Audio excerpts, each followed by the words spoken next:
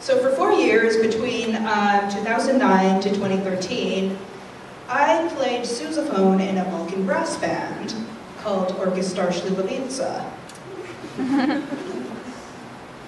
this was like, along with the usual game making stuff I was do also doing at the time.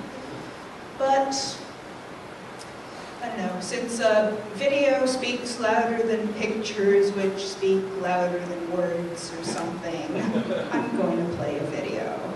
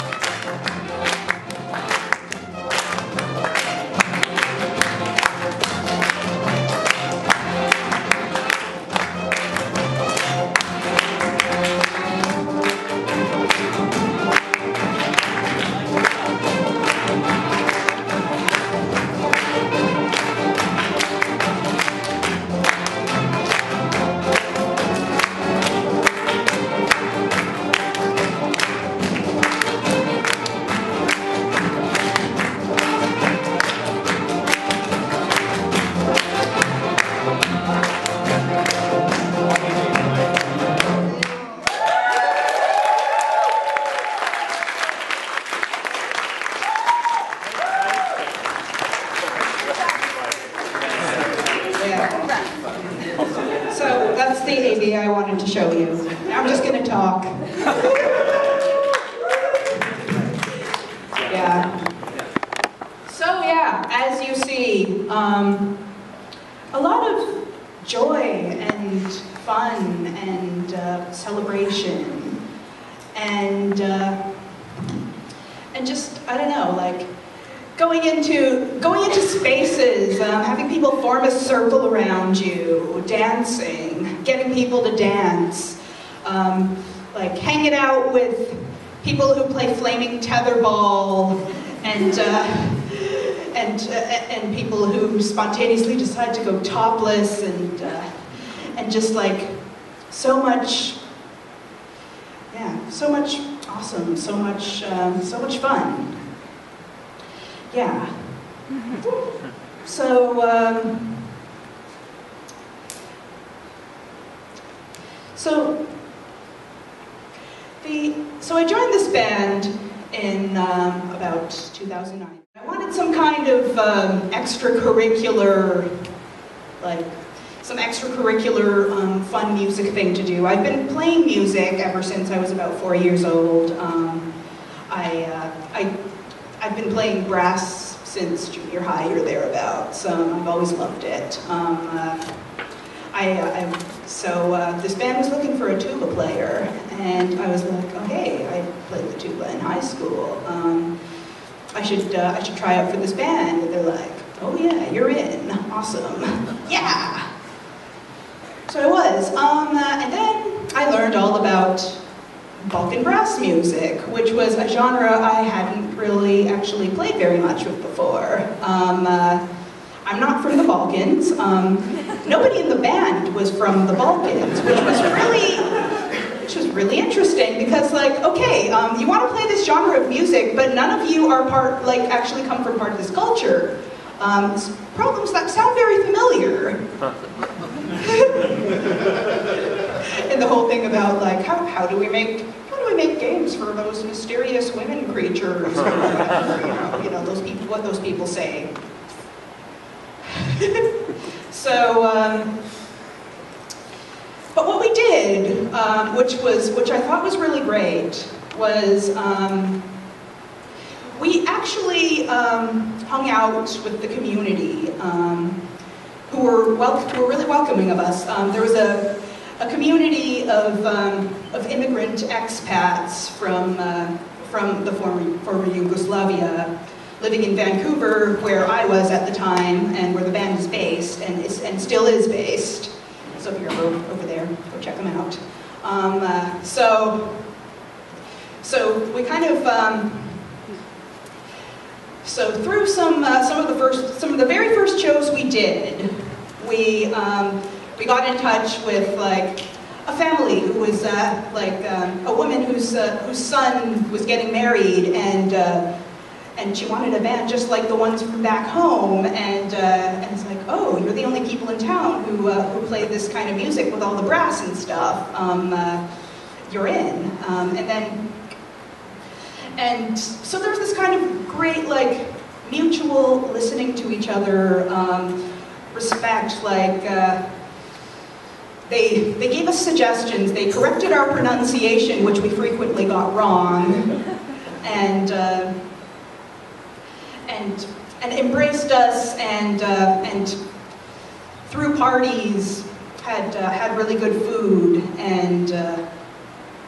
and, and we learned a lot from them. And uh, I myself, as um, a child of immigrants to Canada, like even though we weren't necessarily from the exact same culture, um, I found I was able to find some commonality with uh, with like other folks who were like in a new country with their own with their own cultures, and so so that was really beautiful.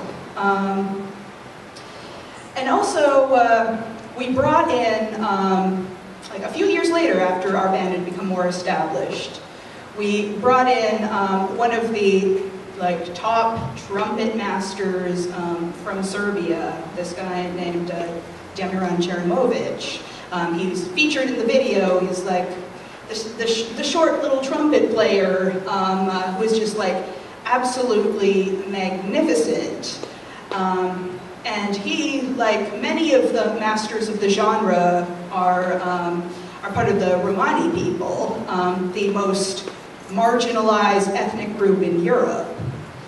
Um, and so a lot of this music is in fact the music um, of of this marginalized people. Um, like, you'll have white people playing this music, but they're kind of like, there's a sense, there's like, um, there's always this sense that like, um, the, like, the Romani folks play it way better, um, and nobody can quite describe why. And like, a lot of the white bands feel very like, I don't know, there's some, they may be really technically proficient, but something's off and people can't quite put their finger on it.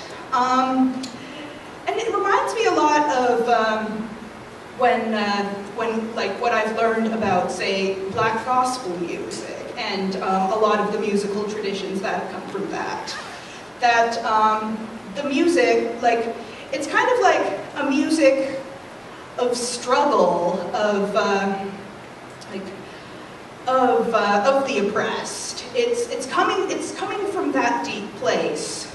But at the same time, um, it's also, it can also be very joyful and celebratory. Now, as for what this has to do with my work in games, um, we all know what's been going on these past couple of months. Um, people have been mentioning it, like, all the time, and it's been, it's been really rough. It's been I haven't even been getting anywhere near the brunt of uh, what some of the, what most people are getting, but, but it has, it has hit me and it's, it's been just, uh, I've been under this like low grade stress the whole time. Um, and then this game I wrote in response, um, Quing's Quest. Woo! Thank you. It's really awesome. I, it's kind of telling that my response to, um, the, to the sense of persecution was to create, was to uh, create something, something joyful, something fun, something with dance numbers in it, um, something funny, just, and I, I had a blast making it.